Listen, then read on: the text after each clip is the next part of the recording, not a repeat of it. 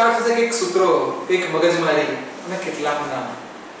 તો સૌથી પહેલા જેટલા બી સૂત્રો આવવાના છે અને જેના ઉપર આપણે દાખલા ગણીશું, તો એવા સૂત્રો જોઈ લઈએ. સૂત્રોમાં શરૂઆત કરું છું ડાયપોલ મોમેન્ટ. તો ડાયપોલ મોમેન્ટ જ્યારે શબ્દ આવે, તો એનું સૂત્ર કંઈક આવું છે, ડાયપોલ મોમેન્ટ એટલે m m બરાબર 2lp p એટલે ધ્રુવાંક અથવા મોટા ભાગે વપરાય સૂત્ર, આ એ, આ સૂત્ર આપણે વાપરીએ છીએ. m બરાબર? i જો આંટાની સંખ્યા આપે, તો આપણે n વડે ગુણી કાઢવાનું ક્લિયર જ્યારે બીજું અને આ ચેપ્ટરનું સૂત્ર છે, કે આને કહેવાય મેગ્નેટાઇઝેશન. રકમમાં શબ્દ આવે મોમેન્ટ જ છે. પણ રકમમાં એવું કહે કે મેગ્નેટાઇઝેશન શબ્દ આવે. તો કુલ મેગ્નેટાઇઝેશન અથવા મેક્સિમમ મેગ્નેટાઇઝેશન ઇઝ ઇક્વલ એકમ કદ દીઠ. સમજો ખાસ. એકમ કદ દીઠ ઉદ્ભવતી ડાયપોલ મોમેન્ટ અને ગુણ્યા સંખ્યા. કેટલા અણુ છે તે? ચલો સૂત્ર બધા મોડે થઈ ગયું હશે કે મેક્સિમમ ડાયપોલ મોમેન્ટ એનો યુઝ કર્યો. અણુની સંખ્યા. ગુણ્યા ડાયપોલ મોમેન્ટ ભાગ્યા કર્યો ધીરે ધીરે આગળ ગયા ત્યારે એવા કંઈક સૂત્રો આવ્યા જેને હું ચુંબકીય ક્ષેત્ર કહીશ. કે સર, ચુંબકીય ક્ષેત્રનું તો બહુ સહેલું સૂત્ર છે. ટોરોઇડ શબ્દ આવે કે સોલેનોઇડ શબ્દ આવે, તો આપણે કીધેલું મુન્ની B બરાબર mu 0 ni આ સૂત્ર ભણી ગયા પણ ત્યારે શૂન્ય અવકાશમાં. આ શૂન્ય અવકાશ માટે સાચું. અહીં પહોંચ્યા પછી ખબર પડી કે આને કંઈક બોલાય. અને ચુંબકીય તીવ્રતા કહેવાય, એટલે સૂત્ર આવ્યું B mu 0 h. તો હું આવું કહી શકું કે સર, આ બંનેને કમ્બાઈન કરો, તો સૂત્ર આવ્યું હની સૂત્ર યાદ રહેશે? H બરાબર ni જ્યારે હું કહું છું હની હનીનું સૂત્ર યાદ રાખવાનું. થોડી વાત નીકળી છે, તો એક બીજા સૂત્રની વાત આપી દઉં. જે તમને ખાસ ખાસ ખાસ કામમાં આવશે b mu 0 કૌંસમાં બે ભાગ પડી ગયા એટલે m h લખાય હવે આ સૂત્રમાં કંઈક સુધારા વધારા કરો ચલો આ સૂત્ર માટે કંઈક કરીએ તો આને નીચે લઈ જાઓ તો b mu 0 is equal to m h મોટા ભાગે તમારે m શોધવાનું આવશે તો ચલો m તમને m શોધવાનું કે એટલે કે મોમેન્ટ અથવા મેગ્નેટાઇઝેશન શોધવાનું કે, તો આ m નું m b mu 0 ને? ચલો મિત્રો, આ h પ્લસ છે, એ સામે આવતું રહે એટલે માઇનસ તો માઇનસ h. આવું સૂત્ર લખાય.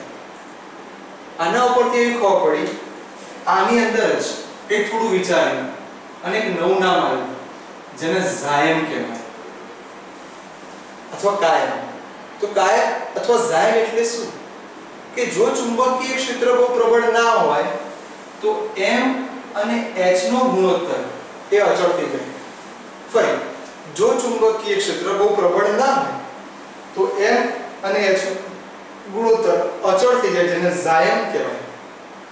અને ઝાયમનું બીજું નામ ખાસ ખાસ ખાસ રાખવું કે 1 ઝાયમ જો કોઈ કે 1 ઝાયમ અથવા કાયમ is equal to mu1 અથવા mu upon mu 0 અથવા km સાપેક્ષ પરમેબિલિટી વિચાર કરો કે આ સૂત્ર MCQ માં તમારે આવશે એટલે તમારે આ સૂત્રને યાદ રાખવું હોય તો મસ્ત રીતે યાદ રાખી લો હું આવી રીતે યાદ રાખું km બરાબર 1 ઝાયમ ફરી km બરાબર 1 ઝાયમ અથવા ઝાયમ 1 is equal to mu r mu upon mu 0 ધીરે ધીરે સૂત્રોમાં આગળ વધતા જઈએ આનો જ ઉપયોગ કર્યો અને ઉપરથી સૂત્રો લાવવાના કે તો આપણે જે જૂના ભણી ગયા ટોરોઇડ એની પરથી હની અને બધું પણ જો આ કિંમત અહીં મૂકી દઈએ તો તો પણ સૂત્ર આપણે જે આ સૂત્ર કીધું કયું તો b બરાબર mu 0 h mu 0 કેમ લખાય? શૂન્ય અવકાશમાં હોય તો? પણ પર્ટિક્યુલર તમને કોઈ માધ્યમ આપી દે, તો અહીં ઝીરો ના લખાય. તો તમારે મ્યુ લખવું પડે. ચલો સમજો મ્યુ તો મ્યુ બરાબર શું લખાય? તો જો મ્યુ આ તો હતું જ ગુણ્યા મ્યુ ઝીરો તો વિચાર કરો કે આપણે એક સૂત્રમાંથી બીજું સૂત્ર બનાવતા થયા. અને તમને એવી ખબર પડશે કે b અને h એના આધારે એક ભેજામારી થાય. બહુ ટૂંકમાં કહી દઉં તો b અને h એના કારણે આલેખ બન્યા અને આલેખનું બહુ જ ફેમસ નામ જેને હિસ્ટેરિસિસ સાયકલ કહેવાય. આ હિસ્ટેરિસ સાયકલ અથવા હિસ્ટેરિસિસ વક્ર કોને કહેવાય? તો એની માહિતી. કે ધારો કે b વિરુદ્ધ આપણે h નો આલેખ તો શરૂઆતની અંદર બધા જ અણુઓ પોતાના કેન્દ્ર સ્થાને હોય, એટલે ઉગમ બિંદુ પર હોય કે ચુંબકીય ક્ષેત્ર બી ના હોય, તીવ્રતા પણ ના હોય. પણ જો આપણે પ્રવાહ પસાર કરીએ, તો આમાં ચુંબકીય ક્ષેત્ર બને એક સમયે તે બંને મહત્તમ થઈ જાય, જેને સેચ્યુરેશન મેગ્નેટાઇઝેશન કહેવાય. જે બિંદુએ B અને H ફરી બોલું છું. જે બિંદુએ B અને H બંને મહત્તમ થાય. તેને સેચ્યુરેશન મેગ્નેટાઇઝેશન કહેવાય. હજી જો આનું મૂલ્ય ઘટાડો, તો આનું મૂલ્ય ઘટી જાય અને કોઈ બિંદુએ આવ્યું બી તો જુઓ કે તમે બી અક્ષ ઉપર છો.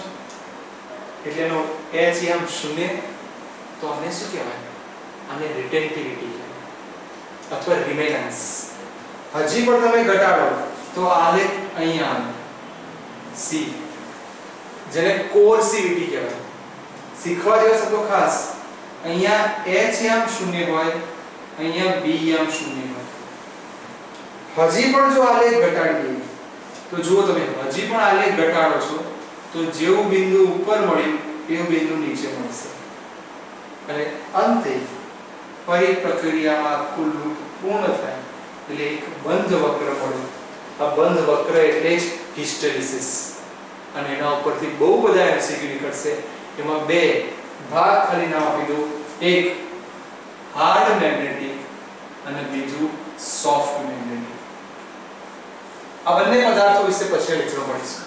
પણ પહેલા આટલી વસ્તુ અને કામનું બહુ જ બહુ જ કામની વસ્તુ આ રહી, તો તમને દાખલા આવડશે. જોઈ લો.